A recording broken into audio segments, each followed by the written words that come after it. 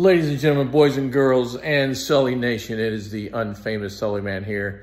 It is day number 44. Four, four of my 50 reps a day for 365 days challenge since I just turned 50, doing 50 reps all year. And on day 44, just got back from New Ulm about, oh no, 45 minutes ago. Nice little town. They say it's like the most German place in Minnesota.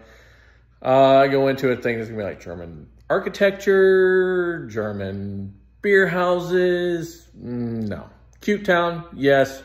Most German, not by the look of the buildings. But anyway, that being said, it's time to get these reps done. So let's get to it.